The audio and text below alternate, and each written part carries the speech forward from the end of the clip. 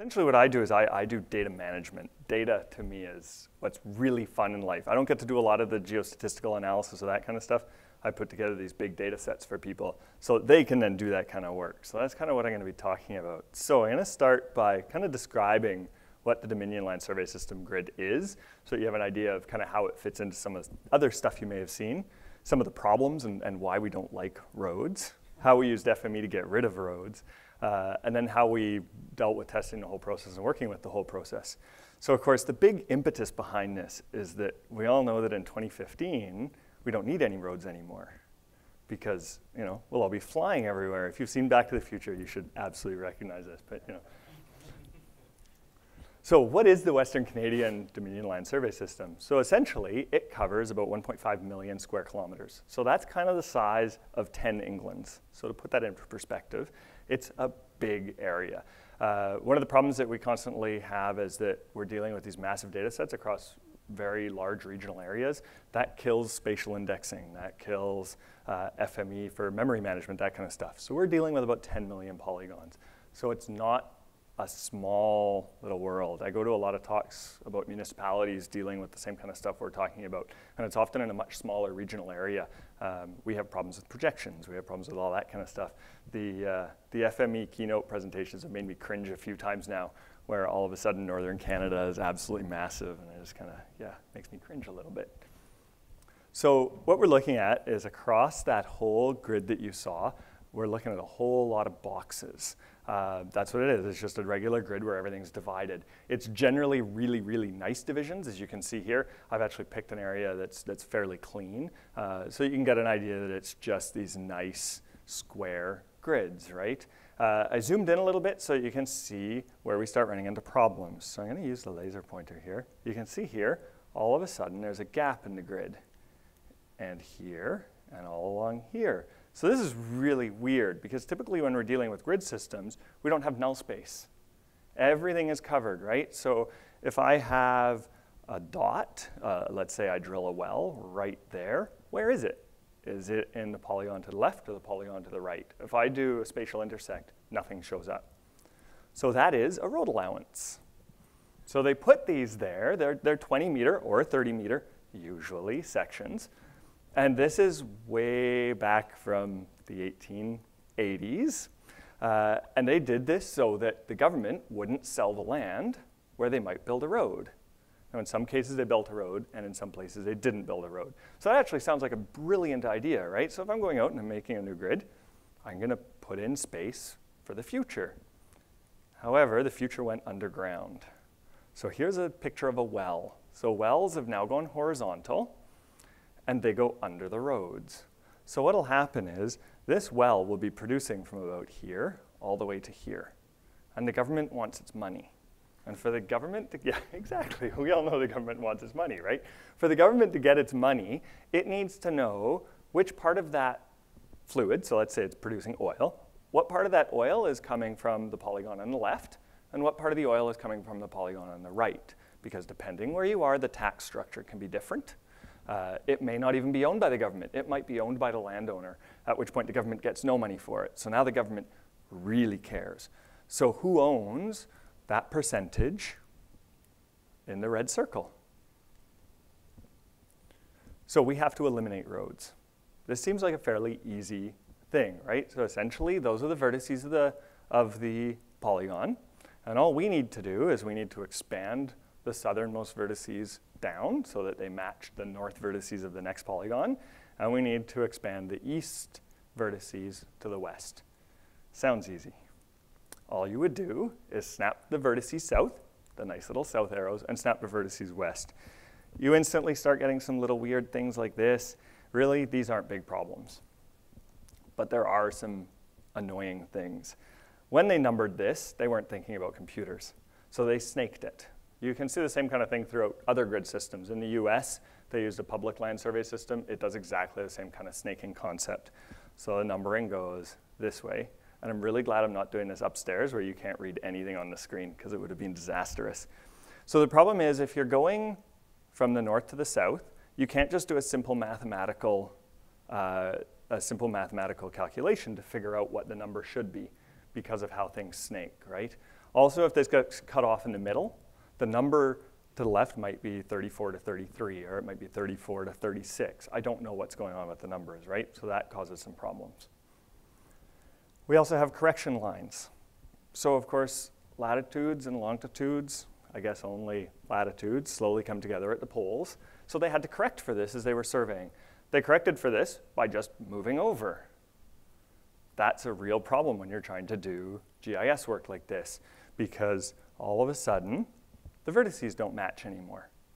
So what do I snap that top polygon to? I don't have a vertex, I don't have a vertice below it. So if I snap it, I end up getting really weird really weird deviated lines and, and all kinds of things that don't line up. Diagonals are not a happy thing in this world. I also have meridian lines. So all of a sudden I have a 200 meter gap. So what do we do with this kind of stuff? So we put together a workspace for this, and that's the workspace. So in Calgary, I showed this workspace right after the Tales from the Script presentation, and I actually got a great big oh from the audience. It was really nice. But I blame the grid. So this here is 36 transformers creating my west of numbers. And this here is another 36 transformers creating my south of. So one of the cool things you can do in FME 2014 is you can actually create an attribute on an output port. So you could literally shrink this whole thing to one big test filter with 36 cases. So if we take a look at what we're doing here, we have two major pieces. That's the pink bookmarks, and those are essentially my anchored snapper setups. So this is where I'm setting the west and the south of numbers, right? Um, it looks gross, but it's really simple. It's just creating an attribute. And then the thing that does all the work is the anchored snapper. So the anchored snapper simply takes two sets of features. One of them doesn't move, and the other one is allowed to move. So I use a group by now that I've set all my numbers for the south and the west, and everything works beautifully for me. For the correction lines, things got a little messier. So for the correction lines, we had to use a densifier. So what we did was we took the top lines and we drastically increased the number of vertices across that. So you're dealing with a million polygons already. Each one of those polygons has about 16 vertices, and now you're densifying. And you're densifying to try to go from a diagonal line to a straight line. So we were looking at a, a, a vertex every centimeter. Well, all of a sudden, across 1.5 million square kilometers, we killed FME. It just couldn't handle it.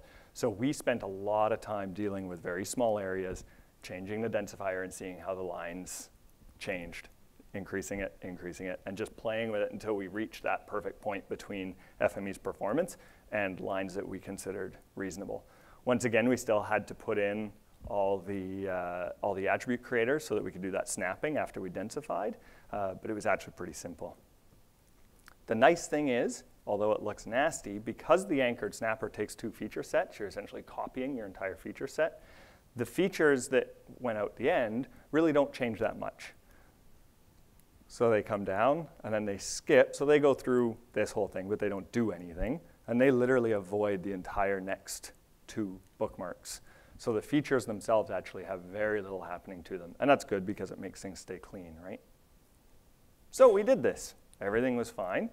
We ran into a couple minor problems. There were some areas that are theoretical grid, so they don't actually exist. They don't have road allowances, that kind of stuff.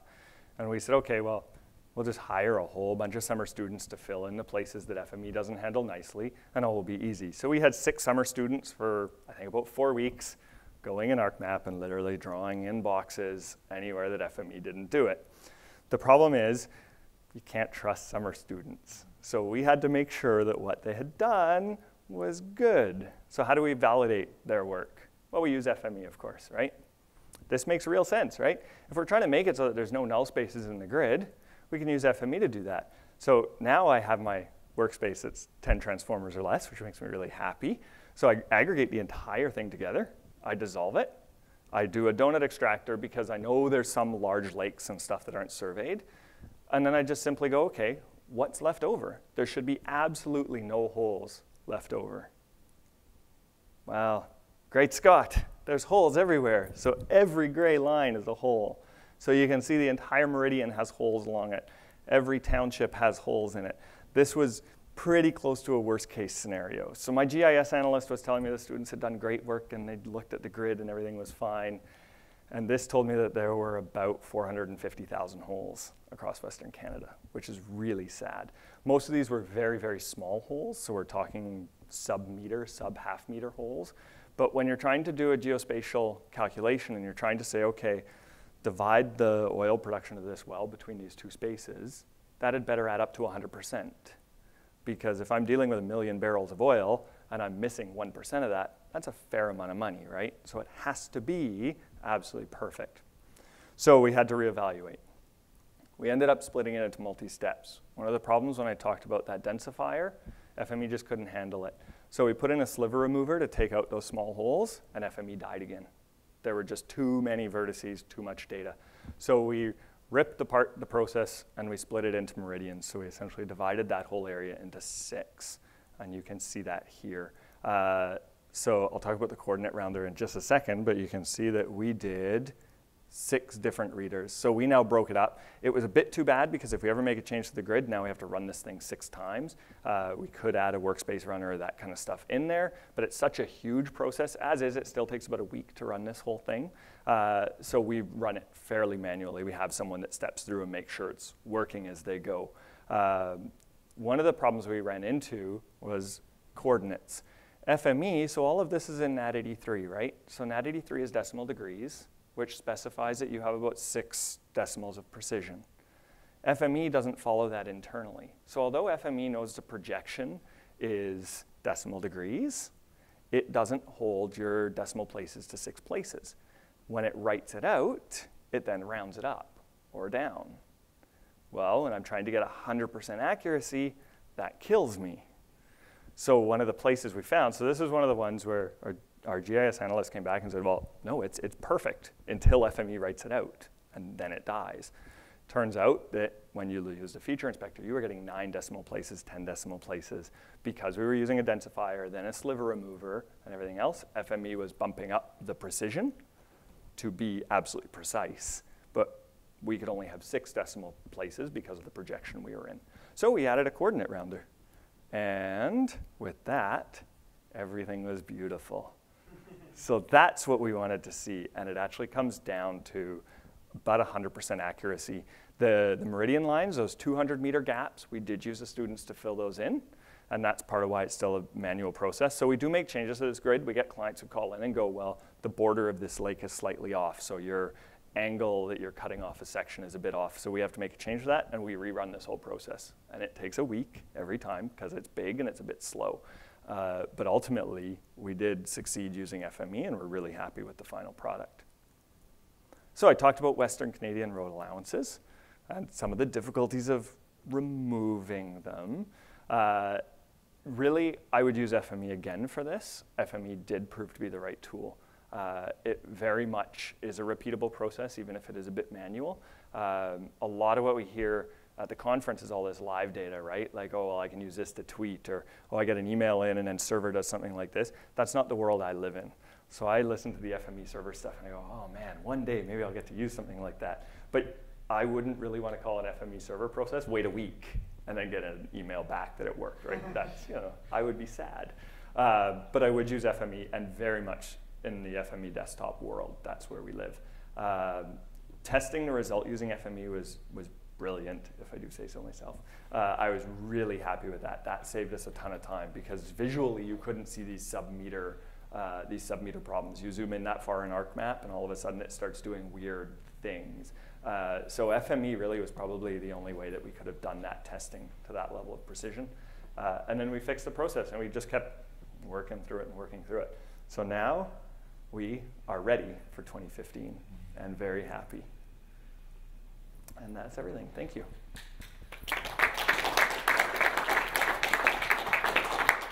Thanks a lot, Tim. Yep. Th this highlights something that came up yesterday that I kind of mentioned that a lot of what SAFE demonstrates are very simple things, you know, to get a concept across, a new feature. But what you do, what a lot of you guys do is with real data, much larger volume, bigger problems than we show.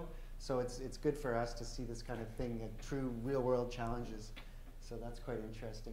And Thank in you. fact, the coordinate rounder came up in that's in a National Resources Canada session as Oh, well. okay, well, there you They've had to do the same thing because we create too much precision um, in some of the Yeah. I didn't expect it at all. Yeah. Because FME reads in the projection and writes in the projection, Mhm. it's very much aware of the projection. You can't just add meters randomly, that kind of stuff, right? So I didn't expect it to start playing Growing. with things. Yeah. Yeah, exactly. So any questions? Yeah. Can I Yes. give you the mic? Is that okay? Yeah. Um, have you explored uh, what uh, the capacity of the computer, uh, how much it matters? Yeah, it, it, so we are running this on a, I think it's a 32 core server uh, with 128 gig of RAM. And FME maxes out at about 50 gig. So it'll read in and read in until, I mean, in Task Runner, that's how I monitor what FME is doing essentially. Once FME hits about 50 gig, it stops Okay. uh, increasing. So one of the things we were doing, one of the advantages of dividing it down to meridians was that's about 25 gig. So then we could actually run four workbenches at once. So we could process four meridians at once once we were more comfortable with it. And you would see memory usage go up to about 100 gig. Why? So I talked to Dale in Calgary about why FME maxed out at 50 gig, and he just said, yeah, that's great. That was about it. So, and really, honestly, it, it FME uses more memory than any other program I use. So I'm pretty happy that it gets as big as it does. Well, uh, how about the CPU? Um, CPU max? usage is surprisingly low. Um, even when the anchored snapper is running and stuff, the CPU usage isn't that high. So you'll see one core running at about 50%. Um, it really doesn't seem to. So I tried getting some of that parallel stuff going because in 2013 they started. I think it was 20, maybe it was before that. They've introduced the parallel stuff, and I tried getting that going, but I think it must be waiting for all the features to come in before running the anchored snapper because it doesn't know what you're going to be snapping from and to. So I think because it waits for everything, then the parallel just doesn't help as much, right? But I'm not entirely sure. I tried. no, that's didn't get totally true. Like we're gradually enhancing some of these transformers that are blocking transformers. Okay. to allow options such as, you know, if you could provide the anchors first and tell the transformer that, then it, Right. then it would become a multi-process problem instead of a memory problem. Okay. That's been done with um, some of the transformers. but- Feature merger. Feature merger, thank you. Yeah, that's yeah, Okay. that's what feature merger. You could provide suppliers first. Yeah, thanks. So that's an example of one that's being done. Anchored snap or not. Yep. But for your case, you could just have d- used uh, an ordinary desktop machine with a lot of RAM. Essentially, yeah. Yeah. yeah. it's running Windows. I'm pretty sure it's running Windows 7. It's yeah, it's very straightforward. Yeah. Any other questions? Uh, he doesn't like the mic, dude. It's uh, yeah. no, it helps. With your uh, uh, your coordinate rounder, um, Yep. what do you think that does with curves? Oh, I have absolutely no idea. I don't deal with curves a whole Yeah. lot. I mean, I don't know. I don't deal with arcs. Like you're talking like a true arc, right? I don't know. It'd be interesting to try it. I mean, so much of what I deal with is it comes into a vertex, it goes out of the vertex, and that's it, right? So, yeah. Because if you're you know if you're changing a you know you know rounding on a curve that's supposed to maintain a certain radius, what happens? You know, it, Yeah, well, it would And the change the snowballs, whole. right? Yeah, and all of a sudden your vertexes might not line up properly anymore, and all kinds of stuff. Hmm. That's, yeah. That's a good question that I don't know the answer to either. We store cur- uh, curves, well, it kind of varies, but as a point with a radius and so on. So that point is what would get rounded, but I don't think the radius would get rounded. I Put could be pull it wrong. round it up, because, um, like, you- like if you try and do, um, coordinate extractors on a curve and stuff, you can't keep that standard in the key. It's just the X and Y comes out, I think, right? Is that what you said?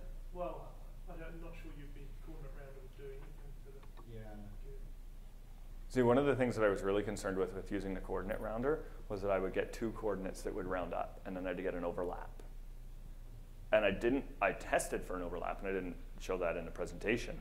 But I didn't get a single overlap anywhere, which was a bit surprising. So what exactly is going on? I'm guessing there's something going on somewhere. But it ends up being a perfect mathematical match. So. Any other questions? Okay, well, thanks again.